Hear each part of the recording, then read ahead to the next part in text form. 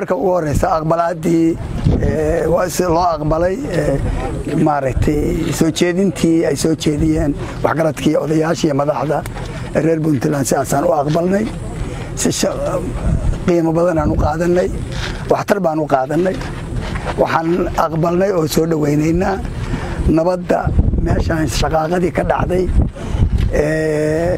ka socotay marka ugu horeysa labadii shalay iyo maalmihii ka horreeyaba dhacdooyinkii ka dhacahayey deegaankan taaroga ka dhacahayey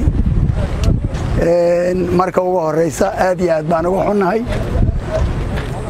Marka labaad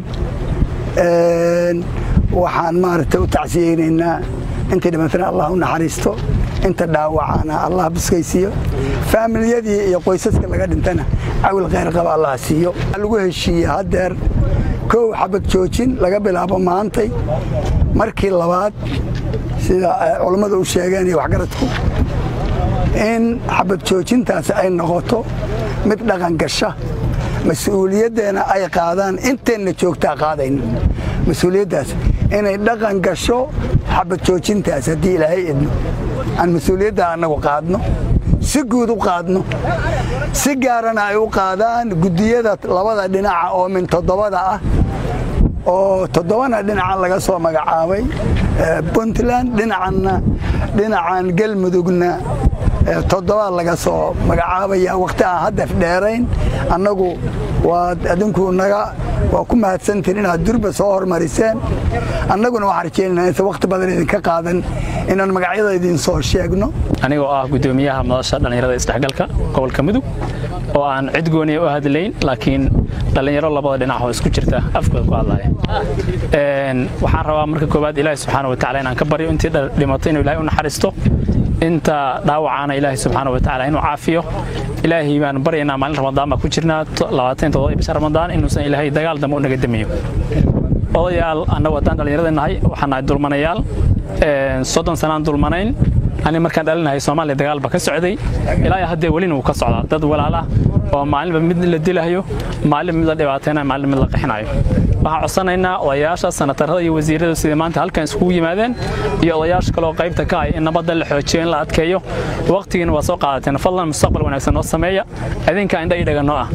Waxaa ilaahay mahaddiisa inaynu halkaan maanta isugu nimid inaynu ka wada shaqayno xabajoojintii xabajoojinta kadib dagaalkii shalay ka dhacay deegaankan hadda aan ku sugannahay ee teerrage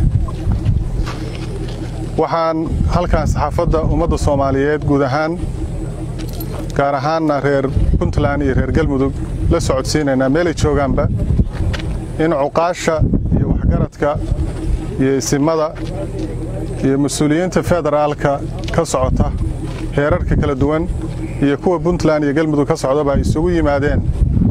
In laga wada hadlo sidii loo demin lahaa colaadda halkan maalmahan dambe ka socotay oo shalay ugu dambaysay uu dhiiga ku daata ugu horrayn waxaan halkan annagoo midaysan ka tacsiyeynaynaa dhammaan intii ku dhimatay iyo intii ku dhaawacantayba.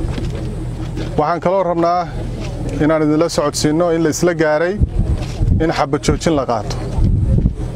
Oo haddii ilaahaydmo inta halkan taagani dhammaan ay isla qaateen inta ka maqan ay ugu baaqayaan uguna yeerayaan inay xabajoojintaas wax ka qaataan. Haddii ilaahaydmo waxaa kaloo la qabtay sida uu sheegay senatarku guddi kor meera xabajoojintaas oo ka shaqeeya hirgelinteeda haddii ilaahaydmo oo dhinaca puntland iyo dhinaca galmudug labaduba isku dhaf noqon doona haddii ilaahaydmo oo wada shaqayn doona.